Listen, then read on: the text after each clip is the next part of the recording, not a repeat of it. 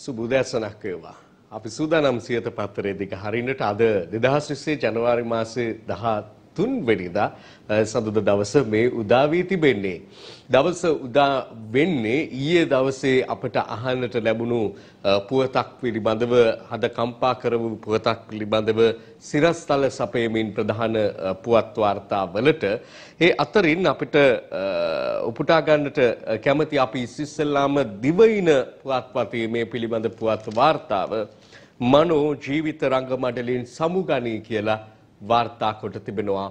ඒ ප්‍රවීණ රංගධර ආචාර්ය ජයලත් මනෝරත්නයන්ගේ සමු ගැනීම නික්මයාම පිළිබඳව. අද පුවත්පතත් වාර්තා කොට තිබෙනවා මේ ආකාරයට මනෝ නික්මයයි ප්‍රවීණ රංගතර ආචාර්ය ජයලත් මනෝරත්න මහතා ඊයේ අලුයම බොරලැස්කමුව අබේරත්න මාවතේ පිහිටි ඔහුගේ නිවසේදී අභාව ප්‍රාප්ත වූ බව එලෙස අද පුවත්පත වාර්තා කරද්දී මව්බිම එය වාර්තා කරන්නේ මෙලෙසයි ගුරුතරුව නිවී යයි කියා.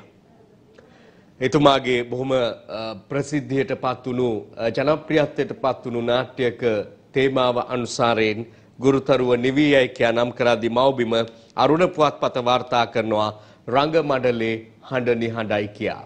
සිනමාව ටෙලිනාට්‍ය ඒ වගේම වේදිකාව මේ තයන්ශේම දස්කම් විස්කම් පෑ ඒ නිසාම ගෞරව බහුමානයට සම්මානයට පාත්‍ර වුණු රංගධරයෙකු වුණු නාට්‍ය නිර්මාණවේදියෙකු වුණු ඒ වගේම බොහෝ දෙනෙකුට ඇදුරු තුමෙකු වුණු ආචාර්ය ජයලත් මනෝරත්නයන්ගේ සමුගැන්ම පිළිබඳව අපගේ ප්‍රවෘත්ති අංශයේ සැකසූ වාර්තාවකුත් අප සතුව තිබෙනවා.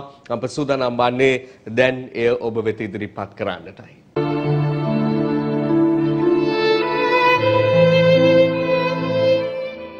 ප්‍රවීණ නාට්‍ය රචකයෙකු වේදිකා නාට්‍ය නිර්මාණකරුවෙකු මෙන්ම ප්‍රවීණ රංගවේදියෙකු වූ ආචාර්ය ජයලත් මනෝරත්න මහතා අද අභාව ප්‍රාප්ත වුණා. කලක් රෝගාතුරව සිටි ඒ මහතා මිය යන විට හැත්තෑ එක්වන වියේ පසු වුණා. අභාව ප්‍රාප්ත ආචාර්ය ජයලත් මනුරත්න මහතාගේ දේහය මහජන ගෞරවය සඳහා බොරලැස්ගමුව අබේරත්න මාවතේ පිහිටි ඒ මහතාගේ නිවසේ තැන්පත් කර ඇති අතර කලා ක්ෂේත්‍රයේ ප්‍රවීණයන්ද අද දින ඒ මහතාට අවසන් ගෞරව දැක්වීම සඳහා එක් වුණා. ඉදිරියට මේ හිස්තැන පුරවන්න කිසිම කෙනෙකුට බැරි වෙයි.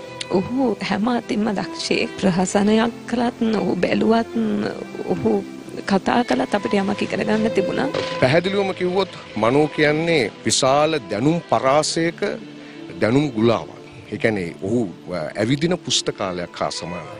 මතු ආත්මයක් තියෙනවා නම් මම ප්‍රාර්ථනා කරන්නේ යළිත් අපාතරම ඉපදිලා එතුමන්ට මේ මග නවත්තපු දේ තවත් ඉදිරියට අරගෙන යන්නට පුළුවන් නම් ප්‍රාර්ථනය තමයි මම එතුමන්ට කියන්නේ. අපේ විශේෂයෙන් වේදිකා නාට්‍ය කලාවට ඉමහත් පාඩුවක් වෙයි කියලා අපි හිතනවා. ඒ වගේ ශිල්පියෙක් රංගන ශිල්පියෙක් අපිට ආයි කවදාකවත් හම්බ වෙන්නේ නැහැ. ජයලත් මනෝරත්නයනනි ඔබට නිවන් සුව ලැබේවා. ඒ එදා තිබුණු ඇසුර අපි කවදාකවත් අපේ විහිළුවකටවත් අපි අමනාප වෙලා නැහැ. මනෝට හොඳ භවයක් ලැබෙන්න කියලා නවතින්න.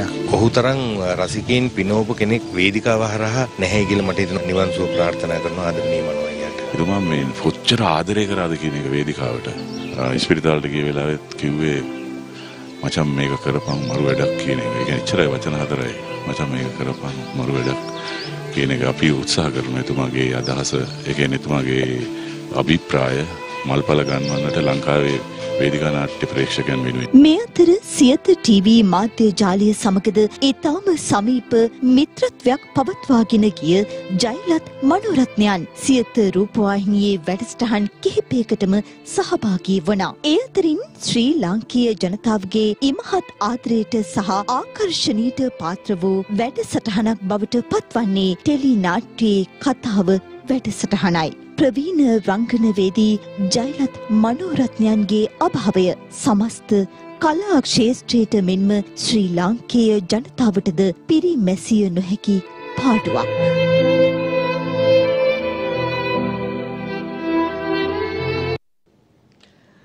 පිරිමැසිය නොහැකි පාඩුවක්. ඒ අපේත් අදහස ඒ වගේම ඔබේත් ඒ අදහස එලෙසම පවතින බව අපි දන්නවා. ඒ වගේම මේ කලා ක්ෂේත්‍රයේ නියුතුව සිටින පරම්පරා කිහිපයකම අදහස් අපිට දකින්නට අහන්නට ලැබුණා. එතුමන්ගේ වියෝව පිළිබඳව බොහොම සංවේගයෙන් පළ කළ අදහස් ඒ සියලු දෙනාගෙන් කියවුණු කාරණාව මනෝරත්නයන්ගෙන් අත්වුණු මේ හිඩස පිරිමැසිය නොහැකි පිරිවිය නොහැකි එකක් කියන කාරණාව. එහෙම දැනෙනකොට ලොකු හුදකලාභාවයක් කලාව තුළ එහෙම නැත්නම් ලොකු දුර්වල වීමක් අපට දකින්නට ලැබෙනවා. කෙසේ වෙතත් මනෝරත්නයන්ගේ ප්‍රාර්ථනාව උනේ ඔහු හැමදාම පැතූ කලාව බොහොම පොහොසත් එකක්. එය අපේ අපේ මේ සියත නාලිකාවට පැමිණ කළ වැඩසටහන්වලදී සාකච්ඡාවලදී බොහොම හොඳින් ගම්‍යවුණු කාරණාවක් පොහොසත් කලාවක් ශක්තිමත් කලාවක් ජවයෙන් පිරුණු කලාවක්. ඉතින් ඒ ශක්තිය, ජවය, බලය එතුමාගේ අභිප්‍රාය නම් ඒ අභිප්‍රාය කලාව තුලත් ඉදිරියට රැගෙන යන්නට හැකි වේවා කියන එක අපි ප්‍රාර්ථනා කරනවා. එතුමන්ගේ අභාවයෙන් මොහොතකට සැලෙන කලාකරුවන්ගේ කලාකාමින්ගේ හදවත් යලි පනගස්වාගෙන එතුමන් වෙනුවෙන් කරන්නට තිබෙන ලොකුම දේ තමයි ජවය බලය ශක්තිය ඇතිව කලාව ඉදිරියට නංවන්නට කටයුතු කිරීම. අපි ඒ ඒ එසේම වේවා කියන ප්‍රාර්ථනාවෙන් ඉදිරි පුවත් වෙත අවධානය යොමු කරමු. මොකද මනෝරත්නයන් පිළිබඳව පළමුව අවධානය යොමු කළේ එතනින් එහාට කියන්නට වෙන බොහෝ කාරණා. මේ දිනවල හෝද හෝදා මඩේ දමන තත්වයේ තිබෙන මේ හඬපට ආදිය පිළිබඳව වන සිරස්තල නිසා බොහෝ වෙලාවට අපීට පෙර එතුමා වැනි කෘතහස්ත රංගවේදියෙකුට හිමි විය යුතු ගෞරවය පිරිනමා ඉන්නට කටයුතු කළා සියත පත්තරෙන්. අපි දැන් බලමු අනෙකුත් සිරස්තල දෙස. දිවයින පුවත්පත ප්‍රධාන සිරස්තලයාද තවත් හඬපට දෙකක් එළියට සිල්රෙදි සහ එක්නැලිගොඩ නඩුවලටත් රංජන් අතපොවලා කියලා එහි සඳහන් වෙනවා. හිටපු ජනාධිපති ලේකම් ලලිත් වීරතුංග හා විදුලි සංදේශ නියාමන කොමිසමේ සභාපති අනුෂ පැල්පිට යන මහත්වරුන්ට එරෙහිව විභාග වූ සිල්රෙදි නඩුවේදීද හිටපු ඇමති රංජන් රාමනායක අධිකරණයට බලපෑම් කළ බව හඬපටයකින් තහවුරු වනවා කියලයි සඳහන් වෙන්නේ. ඒ සමගම එහිම ඊට පහලින් දැක්වෙනවා රංජන්ගේ හඬපට අන්තර්ජාලයට මුදාහැරියයි අයෙකුගෙන් ප්‍රශ්න කරයි කියලා. මේ ප්‍රශ්න කිරීම කළේ කාගෙන්ද කියන කාරණාව දිවයින පුවත්පතේ මෙතන සඳහන් නොවුනාට මෞබිම පුවත්පතේ ප්‍රධාන සිරස්තලයක ඡායාරූපයක් සමග සඳහන් වෙනවා. රංජන්ගේ හඬපට හුටපට ගැන අශෙන් වමාරයි කියලා. CCD පැය තුනක් ප්‍රශ්න කරයි. රංජන්ගේ මාදිවල ගෙදරට ඔහු ආගිය බවත් පිළිගනී. සම්බන්ධ අයගේ නම් කිහිපයකුත් කියයි කියලා සඳහන් කරනවා. මේ සමාජජාල ක්‍රියාකාරිකයෙක් ලෙස හඳුන්වන මේ තරුණයාගෙන් ප්‍රශ්න කිරීමක් කරලා තිබෙන බව තමයි සඳහන් වෙන්නේ. කෙසේ වෙතත් ඔහු හා රංජන් රාමනායක හිටපු ඇමතිවරයා අතර ආන්දෝලනාත්මක සාකච්ඡා පහුගිය කාලේ හුවමාරු වුණා බොහෝ දෙනා අතර ඒ සමග බොහෝ චෝදනාත් එල්ල වුණා. විශේෂයෙන් මහා සංගරුවනට අපහාස වන ආකාරයේ ප්‍රකාශ ආදිය පිළිබඳව කෙසේ වෙතත් ඒ නිසාම මේ දෙදෙනා අතර ලොකු කිට්ටුවන්ත භාවයක් ඇති බව බොහෝ දෙනාගේ විශ්වාසය බවට පත් වුණා. අවසාන වශයෙන් දැන් මේ සිරස්තලයේ සඳහන් වෙනවා රංජන්ගේ මාදිවෙල ගෙදරට ඔහු ආගිය බවත් පිළිගනී සම්බන්ධ අයගේ නම් කිහිපයකුත් කියයි.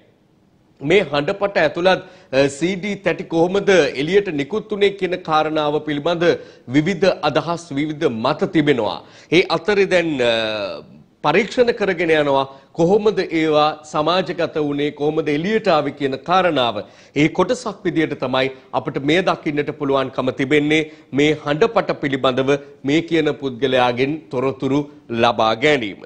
අපි ඊළඟට බලමු මේට සම්බන්ධම යම් තව තවත් වාර්තා පුවත්පත්වල අපට දකින්නට පුළුවන්කම තිබෙනවා. ඒ අනුව අපි අද පුවත්පතට අවධානය යොමු කරමු. රංජන්ගේ හඬපට ගැන රස පරීක්ෂණ ආරම්භයි. අධිකරණ නියෝගයට අනුව පාර්ලිමේන්තු මන්ත්‍රී රංජන් රාමනායක මහතාගේ නිවසින් අත්අඩංගුවට ගත් හඬපට පිළිබඳව රස පරීක්ෂක දෙපාර්තමේන්තුවේ පරීක්ෂණ අද ආරම්භ වීමට නියමිත බවයි සඳහන් වෙන්නේ පොලිසිය විසින් අත්අඩංගුවට ගත් හඬපට ඇතුළත් සංයුක්ත තැටි තොගය පසුගිය 9 වනදා රස පරීක්ෂක දෙපාර්තමේන්තුවට බහර දුන් බව පොලිස් ප්‍රේක්ෂක වාර්තා එහෙම ඇරඹෙනකොට රස කර කර බොහෝ දෙනා අහන බලන තත්ත්වයට මේ අ, හඬපටපත් වෙලා තිබෙනවා.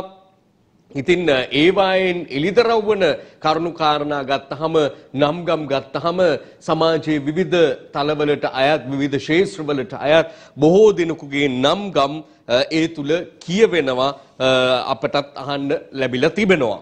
ඊළඟට අපි අ, මේ සම්බන්ධ තවත් සිරස්සල තිබේද කියලා බලනවා. දිනමින පුවත්පතෙත් දිනමිනෙත් තියෙනවා ලලිත් වීරතුංග අනුෂ පැල්පිටි හිරේ යවන්න කුමන්ත්‍රණ කළ හඬපට මාධ්‍යයට ඇවිත් කියලා අ, සඳහන් වෙලා ඒ දිනමිනේ මේ සම්බන්ධ අ, වාර්තාව.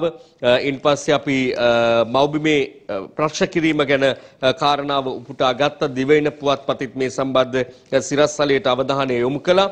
අද අරුණ පුවත්පත මොකද කියන්නේ කියලා බලමු මේ හඬපට පිළිබඳව.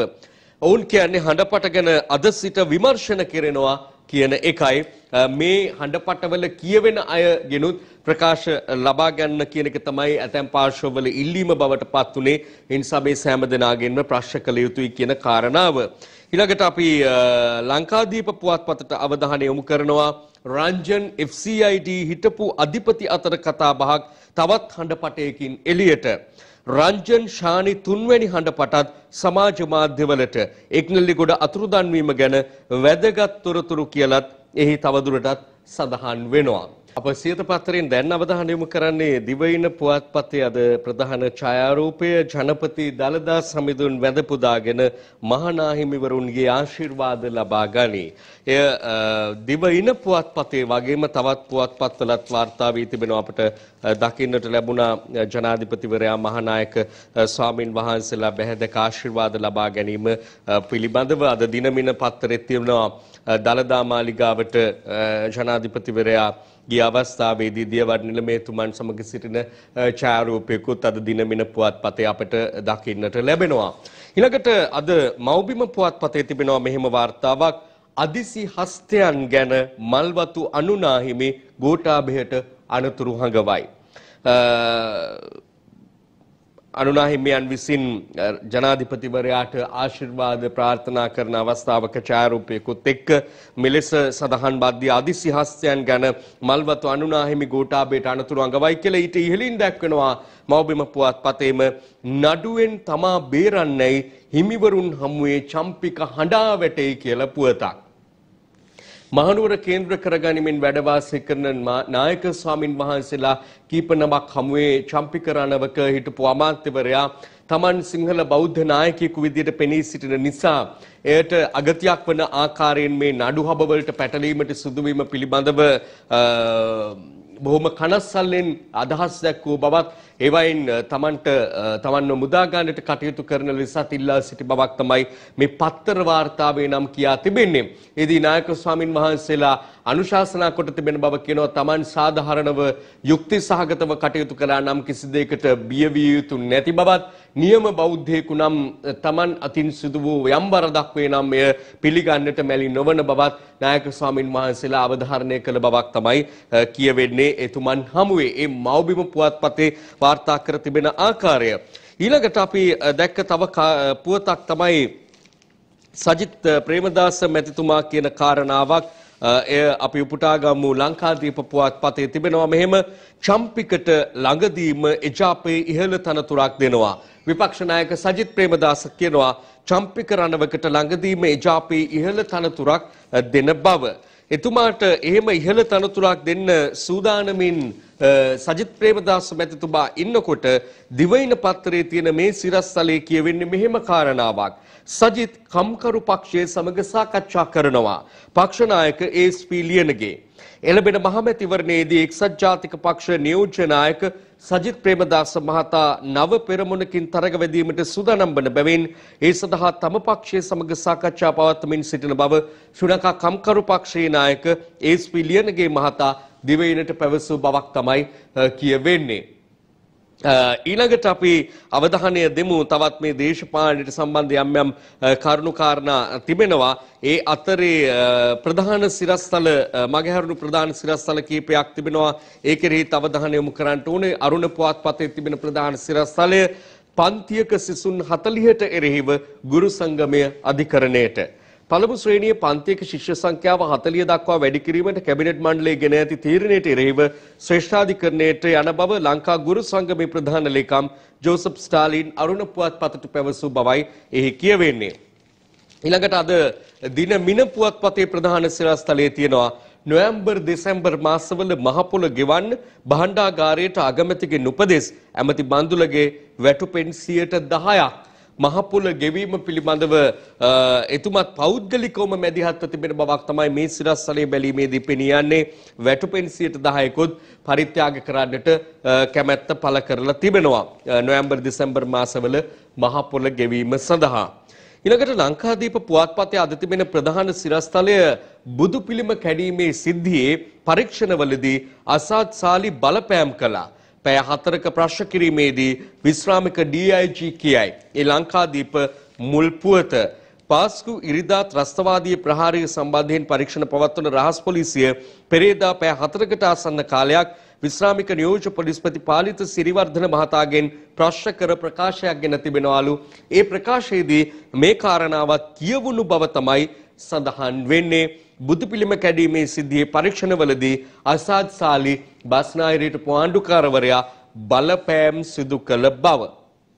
අප මීළඟට අවධානය යොමු කරන්නට සූදානම් මෙන්න මේ පුවත වෙත ලංකාදීප පුවත් පතේ වගේම හැම පත්තරයකම දකින්න පුළුවන්කම තිබෙනවා අසර්බර්ජානයේ ඉගෙනුමට ගිය ලාංකික සිසුවියෝ තිදෙනෙක් විසඳුමකින් මරුට Uh, ඒ සිසුවියෝ තිදෙනාගේ ඡායාරූප සහිතව uh, සෑම පුවත්පතක්ම වගේ අද වාර්තා කොට තිබෙන්නේ මේ පුවත.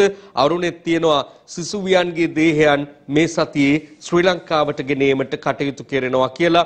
මව්බිමේ තියෙනවා අසර්බර්ජානයේදී මියගිය සිසුවියන් තිදෙනාගේ කඳුළු කතාව පුවත්පත තුල සඳහන් වන බව uh, සඳහන් කරලා. අපි ඇතුල්පිටු වාර්තා කීපයකම දැක්ක පත්තර කීපයකම දැක්ක මේ පිළිබඳව වාර්තා පළ වෙලා තිබෙනවා. ඒ අතරින් මව්බිම පුවත්පතේ වගේම අරුණ ආදී පුවත්පත්වල ඒ පිළිබඳ වාර්තා අපට මුණ ගැසුණා. මව්බිම පුවත්පතේ වාර්තාවේ දැක්වෙනවා අසර්බයිජානයේදී මියගිය සිසුවියන් තිදෙනාගේ කඳුළු කතාව පිළිබඳව අනුතර සිදු වූ දවසේ දුව අපිත් එක්ක කතා කළා. අම්මා හැඬු කඳුලින් කියයි දුව එක් අවුරුදු පාඨමාලාවක් හදාරන්නයි ගියේ. අපි අපිට හිටිය බෝනික්කයන් දෙන්නම නැති වුණා. කොහොමද ඉවසන්නේ? මල්ෂා සහ තාරුකිගේ පියා වැළපේ. එකම පවුලේ දියණියෝ දෙදෙනෙකුත් මෙතන ඉන්නවා. මියගොස් ඇත්තේ පහළ මාලේ ගින්නක් නිසා විසඳුම අග්‍රහණය වීමෙන් දියණියන් දෙදෙනා නැති වූ පුවත ඇසූ නැන්දාත් හෘදයාබාධයකින් මිය ගිහින් තවත් කඳුළු කතාවක් එක්කාසු වෙනවා මේ කතාවට. දරුවන් දෙන්නාම චෙස් ක්‍රීඩාවට දක්ෂයි කිහිප වතාවක්ම ලංකාවේ පළමු තැන ගත්ත කියලත් සඳහන් වෙනවා. අරුණ පුවත්පතෙත් ඒ පිළිබඳ වාර්තාවේ දැක්වෙන්නේ අසර්බර්ජාන් විෂදුමෙන් ලාංකික සිසුවියන් තිදෙනෙක් මිය ඇති කියන පුවත ඔවුන් ඡායාරූප සහිතව වාර්තා කොට තිබෙනවා. හේතුව ගෑස් හා විදුලි කාන්දුවක් මේ ගින්න හටගන්න හේතුව ගෑස් සහ විදුලි කාන්දුවක් කියලායි කියන්නේ ගින්න හටගෙන ඇත්තේ බකු අගනුවර බේල් ජනාවාස මහල් නිවාසයක කියලත් සඳහන් වෙනවා. මියගිය අමෝද්‍යා පවුලේ එකම දියණිය විදිහටත් සඳහන් වෙනවා. ඒ අනිත් දියණිය පිළිබඳව මල්ෂා සහ මල්ෂා සංදීපනී සහ තාරුකියා මායා එකම පවුලේ ආරංචි ඇසු නැන්දනිය මරුට කියන පුවතත් වාර්තා කරනවා. අද දිවයිනත් මේ සිසුවියන් තිදෙනා පිළිබඳව පුවත වාර්තා කරන්නේ පමා කරන්නේ නැතිව මෘතදේහ ලංකාවට ගෙනත් දෙන්න අසර්බර්ජාන් රාජ්‍යයේදී මියගිය තරුණියන් තිදෙනාගේ ඥාතීහු බලධාරීන්ගෙන් ඉල්ලති. දරුවෝ නේවාසිකාගාරයට එන විට ගෑස් කාන්දුව තිබිලා මට ඔච්චරයි හිටියේ වටිනාම දේ හොරු අරගෙන ගියා වගේ මියගිය බෝකුන්දර සොහියුරියන්ගේ පියා කියයි. අපේ සුරතලිය නික්ම ගිහිල්ලා කඩුවෙල තරුණියගේ මව හඬා වැටෙයි සිද්ධිය සැල වූ විට බෝකුන්දර තරුණියගේ නැන්දාගේ හදවත නවතී කියන පුවත අද දිවයිනත් වාර්තා කොට තිබෙනවා. කෙසේ වෙතත් මේ තිදෙනාගේ දේහයන් ඉතාම ඉක්මනින් ලංකාවට ගෙනීමට අවශ්‍ය ක්‍රියාමාර්ග රජයේ මැදිහත් වීමෙන්ම කෙරෙන බව තමයි අපට දැනගන්නට ලැබෙන්නේ. අප දැන් උපුටා නොගත් අනෙකුත් මුල්පිටු වාර්තා වෙත අවධානය යොමු කරමු. බැලුවොත් තවත් එක් කඳුළු කතාවක් තමයි අපට කියන්නට සිදු වෙන්නේ ලංකාදීප පුවත්පතේ මුල්පිටුව නම් මූදේ රළපාගද්දී ඥාති පවුල් දෙකක තිදෙනෙක් රළපහරට හසු වී මරුට තරුණියගේ තරුණයන් දෙදෙනාගේ සිරුරු පශ්චාත් මරණ පරීක්ෂණයට. මේ අ, තරුණිය ගහගෙන යනකොට රළපහරට හසු වෙනකොට ඇය බේරා ගන්න පැනපු තරුණයෝ දෙන්න තමයි ජීවිතක්ෂයට පත් වෙන්නේ. මියගිය අයගේ ඡායාරූප සහිතව අ, පුවත වාර්තා කොට තිබෙනවා අද ලංකාදීප පුවත්පතේ. ඒ වගේම තවත් පුවත්පත්වලත් මේ අ, පුවත මව්බිමේ වාර්තා කරනවා. තරුණ ජීවිත තුනක් පිළිගත් වෙන්නප්පුවේ ඛේද වාචකයේ නමින් රැල්ල පාගමින් සිටියේදී වැටුණු තරුණිය බේරා ගන්න ගිය තරුණියෝ දෙදෙනාත් මුහුදට බිලිවීමේ අ, පුවත පිළිබඳව ගෙවි යන්නේ බොහොම අනතුරුදායි කාලවකවානුවක් කියන එක මා හිතන්නේ අමුතුවෙන් කියන්නට දෙයක්වත් නෑ වගේ අ, දිගින් දිගටම අපට වාර්තා කරන්නට වෙලා තිබෙන්නේ අනතුරු පිළිබඳවමයි.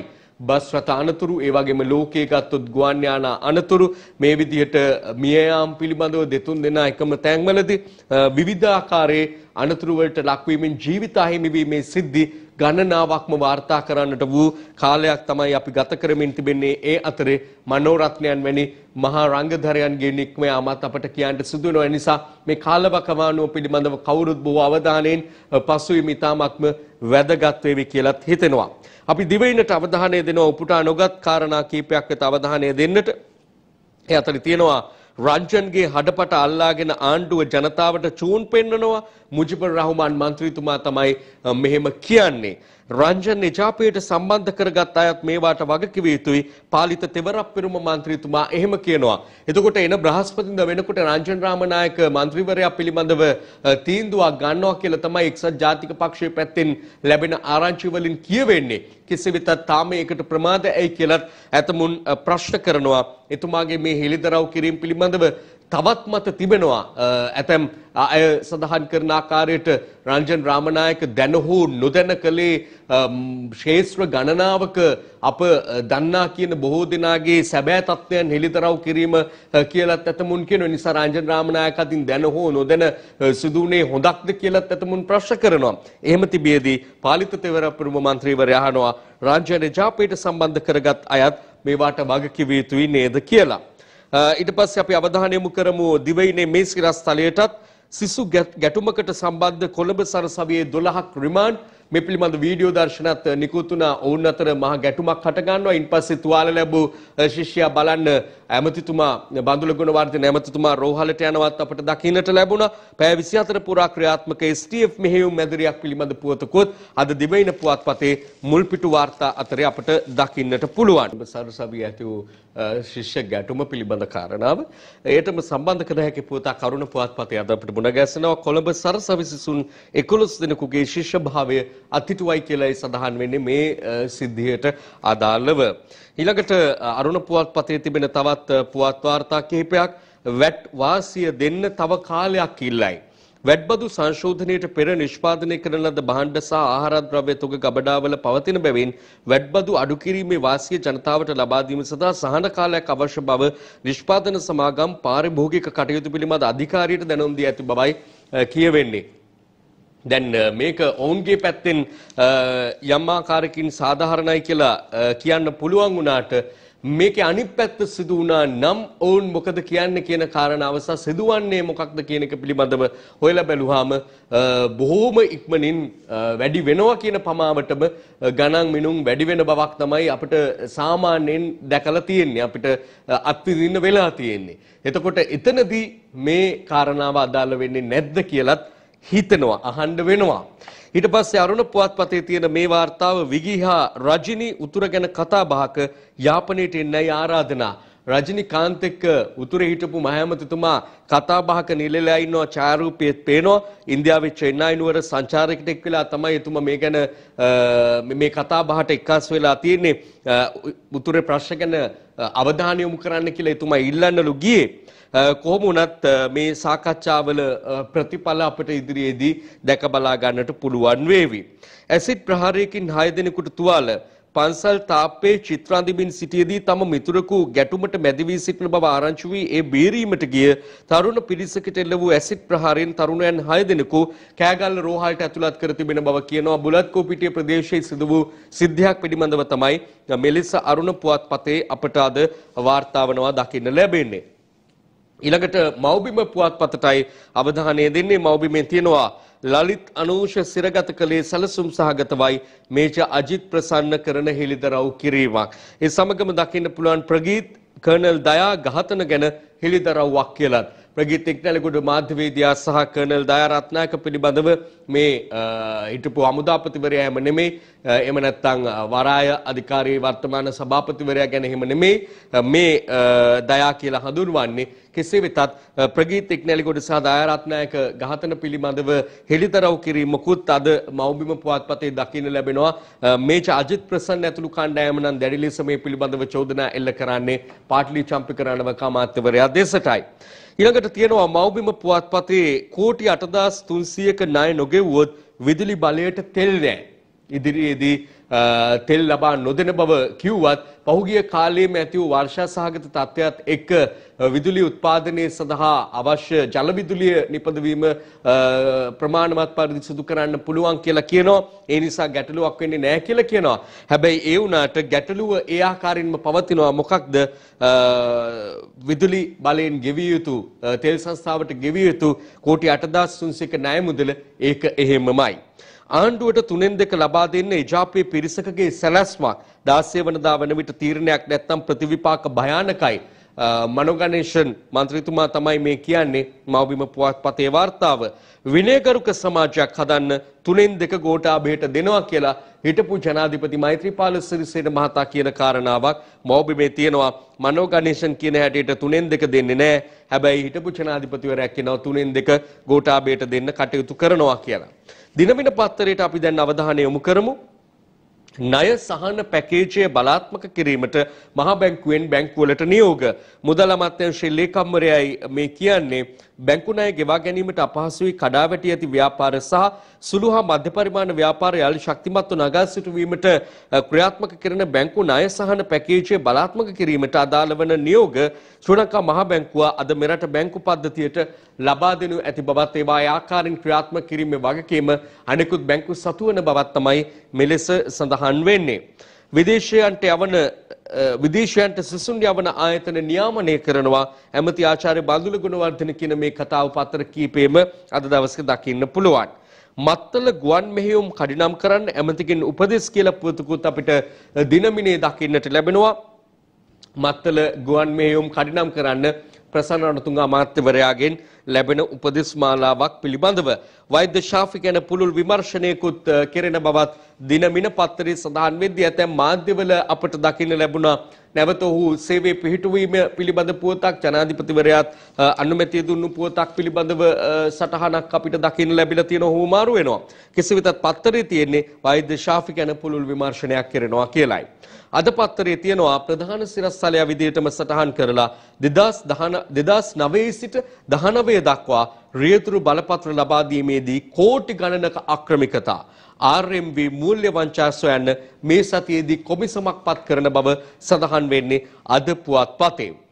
දෛනික වැටුප රුපියල් 1000ක් නොකළොත් වතුකම්කරුවෝ ඡන්ද වර්ජනයකට සැරසිති කියලා පුවතකුත් අද පුවත්පතේ අපට දකින්නට ලැබෙනවා. කැරට් ලීක්ස් හැර අනෙකුත් එළවලු මිල ක්‍රමයෙන් පහළ බසිමින් තිබෙන බවක් අද පුවත්පත වාර්තා කරනවා. ඒ එසේම නම් ඒක පාරිභෝගික ජනතාව පැත්තින් යම්කිසි තත්ත්වයක යම්කිසි ඔහු සහනදායි තත්ත්වයක් කියලා සඳහන් කරන්නට පුළුවන් කැරට් ලීක්ස් හැර අනෙකුත් එළවලු මිල ක්‍රමයෙන් පහත වැටෙනවයි කියන කාරණාව. නොගැලපෙන අය පාර්ලිමේන්තුවේ වන්න එපා. සුදුසුකම අතපය තියෙන එක හෝ උස මහත බඩ කඳ තියෙන එක නෙමෙයි. රාජ්‍ය අමාත්‍ය දුමින්ද දිසානායක. දැන් දැන් එළියට එන කරුණු කාරණාත් එක්ක අවබෝධ වෙන දේවල් එක්ක බැලුවාම ගැලපෙන්නේ කවුද කියන එක හොයා ගැනීමත් ටිකක් දුෂ්කර වෙලා තියෙනවා. ඒ තරමටම නොගැලපෙන්නෝ පාර්ලිමේන්තු තුළ විවිධ හේතුන් මත වයස කියන සාධකයේ ඉඳලා ගත්තාම වයස කියන එකටත් වඩා ඒ නිසා දුර්වල වීම කියන කාරණාවත් එක්ක ඉඳලා ගත්තාම බොහෝ හේතු කාරණා ගොඩ ගැසෙමින් තිබෙනවා වර්තමානයේ පාර්ලිමේන්තුව නියෝජනය කරන්න නුසුදුසුසන් විදියට දකින්නත් ඒ නිසා සුදුසුසන් පත් කර යැවීමේ වගකීම පිළිබඳව ජනතාවට මතක් කරලා දෙන්නේ තමාත්‍යවරයෙක් විසින්මයි රාජ්‍ය අමාත්‍ය දුමින්ද දිසානායක චෝදනා තිබෙන ශශී බෙල්ගම ජාතික ගමනාගමන කොමිෂන් සභාවේ සභාපති වුණේ කොහොමද? පත්කිරීම කළ කමිටුව හා ඒ කමිටුව පත් කළ ජනාධිපතිවරයා ජනතාවට පිළිතුරු දිය යුතුයි ජවිපි පාර්ලිමේන්තු මන්ත්‍රී නලින්ද ජයතිස්ස. රාජ්‍ය ආයතනවල ඉහළ තනතුරු වලට පත්කිරීම සඳහා හය දෙනෙකුගෙන් යුත් කමිටුවක් පත් කෙරෙනවා. ඒ කමිටුවක් තිබියදීත් මෙවැනි පත්කිරීම් සිදුවීම චෝදනා ලත් අය මේ විදියට පත් කරන්නේ නැහැ කියලා කිව්වට එහෙම පත් උනේ කොහොමද කියලායි නලින්ද ජයතිස්ස මන්ත්‍රී කමිටුවත් කමිටුව පත් කරපු ජනාධිපතිවරයාත් පිළිතුරු දිය යුතුයි කියන එකයි ඔහුගේ නිගමනය බවට පත් වෙලා තියෙන්නේ. ලංකාදීපයට දැන් අපි අවධානය යොමු කරමු එහි තිබෙනවා හිසට වෙඩි තබා තරුණයා මැරුවයි පෙරපාසල් ගුරුවරිය අත්අඩංගුවට. පොලිස් සුනකයා සැකකාරිය සොයාගෙන 29 හැවිරිදි තරුණයෙකු ඝාතනය කිරීම පිළිබඳව තමයි මේ අදාළ පෙරපාසල් ගුරුවරියකට චෝදනා එල්ල වෙලා තිබෙන්නේ. හේතුව කාරණාව හේතුව මොකක් වුණත් කාරණාව ඉතා බරපතලයි. මහපොළ ශිෂ්‍යාධාරය මින් ඉදිරියට සෑම මාසකම 15 වෙනිදා ලබා දෙනවා කියලා සඳහන් වෙනවා ලංකාදීප පුවත්පතේ. වගේම තවත් පුවත්පතක දැක්කා මුල්පිටු වාර්තාවකම දැක්වෙනවා. මහපොළ ඉඟ ශිෂ්‍යත්ව ලබා දෙන්න අදහිටම කටයුතු නොකළොත් අන්තරේ නිකං ඉන්නේ නෑ කියලා පුවතකුත් දකින්නට ලැබුණා. අන්තර් විශ්වවිද්‍යාල ශිෂ්‍ය බල මණ්ඩලයට එරෙහිව කටයුතු කරනවායි කියන කාරණාව. ඉන් පස්සේ අපි ඇතුල් පිටු වෙත අවධානය යොමු කරමු. ඉන්න එකක් තමයි අද පුවත්පතේ ජන අද පුවත්පතේ තිබෙන මතය පිටුව ගොවියාත් පාරිභෝගිකයාත් ශක්තිමත් කිරීමට ශක්ති සහල් වැඩපිළිවෙල ක්‍රියාත්මක කළ යුතුයි. ශ්‍රී ලංකා සහල් නිෂ්පාදකයන්ගේ සමුපාකාර සංගමේ සභාපති මුදිත පෙරේරා මහතායි මේ කියන්නේ. දැන් මේ සහල් වී පිළිබඳව ඇති වී තිබෙන ගැටලුව ගැන විවිධ තේමාවන් විවිධ මාතෘකා ඔස්සේ මේ සාකච්ඡාව පවත්වා තිබෙනවා. කුඩා හා මධ්‍ය පරිමාණ මෝල් කුඩා හා මධ්‍ය පරිමාණ මෝල් වල ක්‍රියාකාරීත්වය කුඩා හා මධ්‍ය පරිමාණ මෝල් වැසී යාම ඊළඟට කුඩා හා මධ්‍ය පරිමාණ මෝල් හිමියන් නගා සිටුවීම ශක්ති සහල් වෙළඳපොළට පැමිණීම එකවර සහල් මිල ඉහළ යාම ඊළඟට වීහිගයක් සැබෑවටම තිබෙනවාද නැද්ද කියන කාරණාව නාඩු සහ සම්බා සහල් හිගය ගැන කීරි සම්බා හා සම්බා වී නිෂ්පාදනයේ ඉහළ ගොස් තිබියදී එම සහල් මිල අඩු නොවීම මේ මේ මේ කාරණාව පිළිබඳ ගත්තොතින් පහුගිය කාලේ කීරි සම්බා වලට ඉහළ මිලක් තිබුණ නිසා වැඩිමනක් ගොවියෝ කීරි සම්බා තමයි නිෂ්පාදනය කරේ කියලා කියනවා. එතකොට එහෙමත් තිබියදී අස්වනු වැඩිපුර හම්බ වෙලා තියෙද්දී කොහොමද ඒ සහල් මිල අඩු නොවෙන්නේ කියන කාරණාව එකම භූමියක සකස් කරන වී සහල් බවට පත්වීමේදී මිල වෙනස් වීම පිළිබඳව. සහතික මිලට මොකද දැන් වෙලා තියෙන්නේ කියන එක? මෙවර කන්නේ වී මෙලදී ගැනීම කොහොමද සිදු වෙන්නේ කියන කාරණාව පිළිබඳව මේ ආදී තාමත්ම වැදගත් වෙන තේමාවන් කීපයක් ඔස්සේ මේ සාකච්ඡාව මෙහෙවා තිබෙනවා ශ්‍රී ලංකා සහල් නිෂ්පාදකයන්ගේ සමුපකාර සංගමේ සභාපති මුදිත පේරේනා මහතාගේ අදහස් එක්වීම තමයි එලෙස අපට මුණ ගැහෙන්නේ. එතකොට අරුණ පුවත්පතේ ඇතුල් පිටු වාර්තාවක අපිට දකින්න පුළුවන්කම තිබෙනවා සමස්ත ලංකා ගොවිජන සම්මේලනයේ ජාතික සංවිධායක නාමල් කරුණාරත්න මහතා දක්වන අදහසක් දැන් සටපට ගාලා තිරපටාස්සේ හඬපට ඇවිල්ලා ජනතා ප්‍රශ්න අමතක කරලා කියලයි ඔහු කියන්නේ. සාමාන්‍යයෙන් රාජන් රාමනායක කිව්වාම හුරු වෙලා තිබුණේ අපිට ඉඳහිට තිරපට එහෙම නැත්නම් සිනමාපට නිෂ්පාදනය කරන ඉදිරිපත් කරන අධ්‍යක්ෂණය කරන ඒවැ රඟපාන කලාකරුවෙකු විදිහට තමයි ජනතාව අතර හිටියේ. දැන් හඬපටවලට තමයි එතුමා බොහොම ප්‍රසිද්ධියක් උසුලන්නේ. ඉතින් මේන හඬපට අතරේ අමතක වෙලා යන ජනතා ප්‍රශ්න පිළිබඳව නාමල් කරුණාරත්න මහතා මතක් කර දීමක් සිදු කොට තිබෙනවා. ඉන් පස්සේ අපිට අවධානය යොමු කරන්න තවත් කාරණා කීපයක්ම තිබෙනවා. මෞබිම පුවත්පතේ මෞබිම පුවත්පතේ තියෙන මෙන්න මේ වාර්තාවට අපි අවධානය යොමු කරමු. මුස්ලිම් ජනතාවට කාති උසාවි වලින් සාධාරණේ ඉටුවන්නේ නැහැ. මේ උසාවි වල සිදුවන අකටයුතුකම් ගැන ජමයතුල් උලමා එකට අපි කිව්වා. කාති උසාවි අහෝසි කර සියලු ජාතීන්ට එක නීතියක් හදන්න. මේ මුස්ලිම් නායකයින්ගේ සහභාගීත්වයෙන් තියෙන මාධ්‍ය හමුවකදී ඔවුන් දරන අදහස් මතය තමයි එලෙස අපට මුණ ගැහෙන්නේ මේ විවාහ නීති පිළිබඳව කාරණා පාර්ලිමේන්තුවටත් අරගෙන ආව විශේෂයෙන් පාර්ලිමේන්තු මන්ත්‍රී අතුරලී රතන ස්වාමින් වහන්සේ මේට මැදිහත්ව කටයුතු කරනවා කෙසේ වෙතත් මේ මාධ්‍ය හමුවේදී කියවෙන ප්‍රධානතම කාරණාව මුස්ලිම් ජනතාවට කාති උසාවි වලින් සාධාරණේ ඉටු වෙන්නේ නැහැ කියන එක වෙනම උසාවි වෙනම බැංකු හැමදේම වෙනම වෙනම වෙනම වෙනම තිබීමේ ප්‍රතිඵල පහුගිය කාලේ බොහෝසෙයින් අත්විඳිනටත් සිදු වුණා. ඒ නිසා මේ එකම රටක එකම නීතියක් තුල කටයුතු කිරීම වැදගත් කියන එක තමයි ඔවුන්ගේ මතය බවට පත් වෙලා තියෙන්නේ. පිටු වාර්තා කීපයක් සහ කාටුන් වෙත අද පත්තරයේ තිබෙනවා රටේ වේගවත් සංවර්ධනයක් වෙනුවෙන් බුද්ධිගලනය අත්‍යවශ්‍යයෙන්ම පාලනය කළ යුතුයි. ජනාධිපති ගෝඨාභය රාජපක්ෂ මහතා කියන කාරණාවක් අද පස්වෙනි පිටුවේ එහෙම වාර්තා වෙද්දී හතේ අපේ පොත නැවත බෙදා දීම ගැන තීන්දුවක් ගැනීමට 21 වෙනිදා විශේෂ සාකච්ඡාවක් පැවැත්වෙන බව කියනවා. මහත් ආందోලනයට ලක් වුණු පෙළපොතක් තමයි මේ. එය නැවත ලබා දීම ගැන සාකච්ඡාවක් තියෙනවා කියලායි කියන්නේ. ලංකාදීප පත්තරයේ තියෙනවා මේ වාර්තාව. පොලිසියට පාඩ් දැමූ වෙන්නප්පුව ප්‍රාදේශීය සභා මන්ත්‍රීනියගේ පියා කසිප්පු එක්ක අත්අඩංගුවට.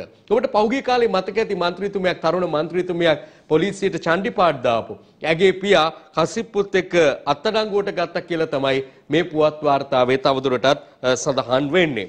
ඊළඟට අපි ලංකාදීපෙන් මුපුටා ගන්නවා මේ වාර්තාව තෙල්මිල ඉහළ ගියොත් හැමෝගෙම බඩට පහර වදිනවා.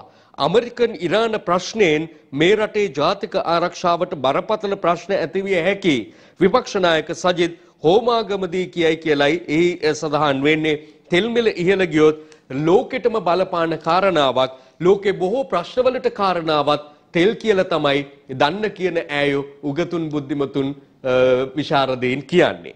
ඊළඟට අපි අන්තර්ජාතික පිටුවට එමු අද පුවත්පතේ එහි තිබෙනවා යුක්‍රේන මගේ ගුවන් යානයට එල්ල වූ ප්‍රහාරයේ වගකීම ඉරානය භාරගනී.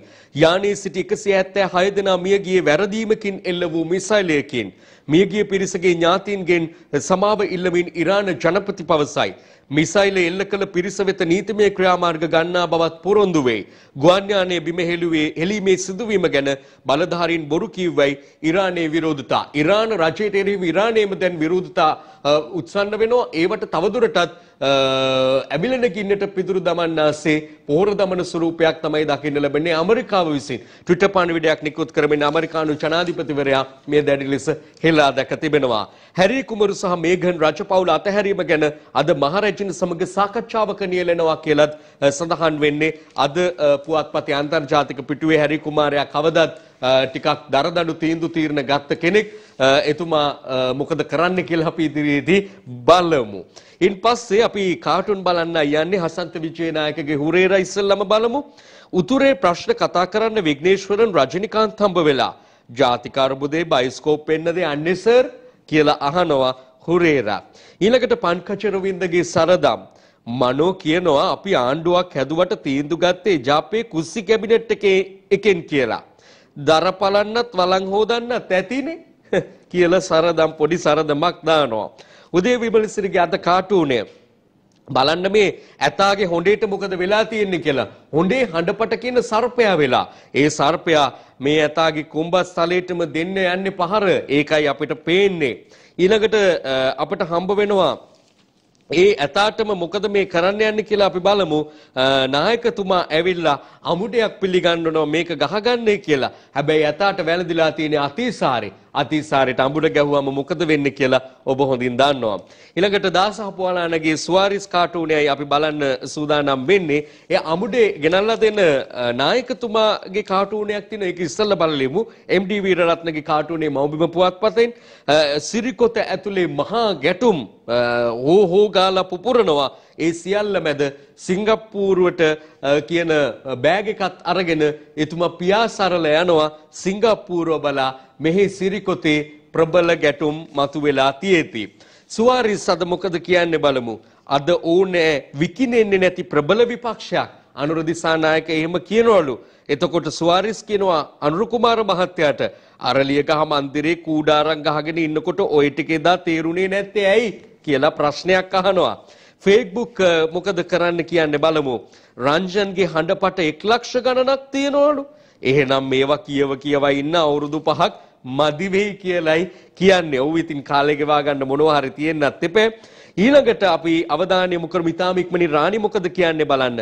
හඬපටවල වැඩිකාරයෝ ඔක්කොටම දඬුවම් කරනවලු. ඒක නම් වෙන වැඩක් නෙමෙයි. ඇයි රාණි? මේ යන විදියට නීතිය ක්‍රියාත්මක කරන්න එකෙක් විතුරු වෙයිද දන්නේ ඔක්කොම මේවා ගෑවිලා ඉන්නවනේ රාණි ඒකයි කියන්නේ අපි අවසන් කරනවා බටහිරද මව්බිම පත්තරේ බටහිර කොටස තියෙන මේ කාටුනේ එම්.ඩී. වීරරත්නගේ මොකද අඬාගෙන එන්නේ 99 කාඩ් එක දාගෙනද? නෑ. හඬපට බලලම කාඩ් එක ඉවර වෙලා. මේ දවස්වල හඬපට බලලම ගොඩ දෙනෙකුගේ ඩේටා ඉවර වෙලා කියලයි අපිට අහන්න ලැබෙන ඊළඟ මැසිවිල්ල. කෙසේ වෙතත් අපි හෙටත් හමු වෙනවා සියත පත්තරෙන් ඔබට ජයග්‍රාහී සුබ දවසක් ප්‍රාර්ථනා කරනවා.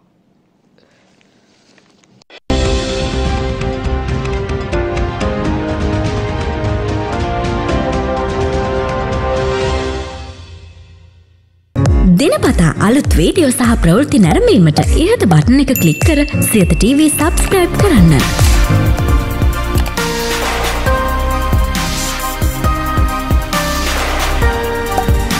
අලුත් වීඩියෝ ගැන මුලින්ම දැනගන්න මෙම සීනුව ක්ලික් කරන්න.